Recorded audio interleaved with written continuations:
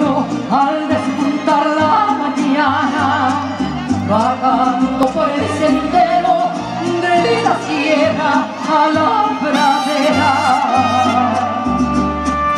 Vamos citando sus quejas con su flautita de carrizo, seguido por sus ovejas como si fuera un hechizo.